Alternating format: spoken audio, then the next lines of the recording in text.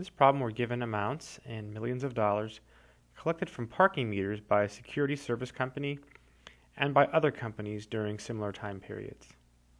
So we have security service company and we have other companies. So to find the coefficient of variation for each of these.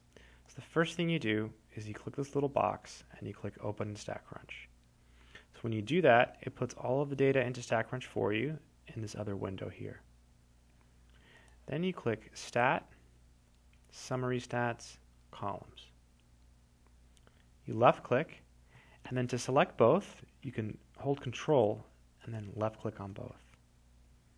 Then you can scroll down and you can look for coefficient of variation. It's right here. You left click, you click Compute, and there's all the answers. So again, the first thing you want to do is put the data in StatCrunch. So you left click on this little box, you click Open in StatCrunch, it puts all the numbers in StatCrunch for you. Then you go to Stat, Summary Stats, Columns. Left click, and then to select both, you have to hold Control. Okay? Then you scroll down and you look for coefficient of variation. There it is. Just left click, click compute, boom, there it is. There's all the answers. So we want the coefficient of variation for the security service company.